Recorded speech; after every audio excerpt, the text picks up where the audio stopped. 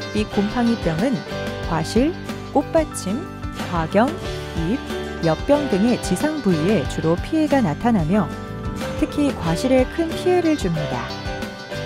어린 과실에 침입하면 갈변 또는 흑갈변하고 다습할 경우에는 부패하고 잿빛의 병원균이 발생합니다.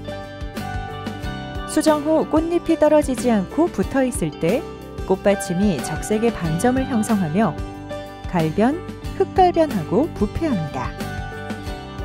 발생 생태는 처음에는 하엽의 고사한 부분에 병원균이 기생 증식하는 것으로 추정되며 포자에 의해 전염됩니다.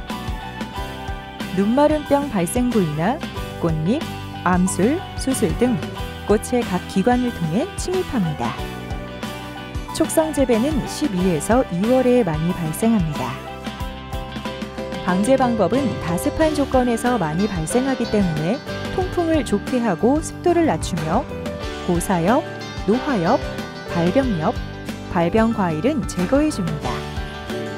또 딸기에 등록된 작물 보호제를 안전 사용 기준에 준하여 처리하며 살균제는 개화 50% 이내일 때 혹은 냉해 발생 전 화분 발화에 영향이 적은 약제를 예방적으로 처리해야 효과적입니다.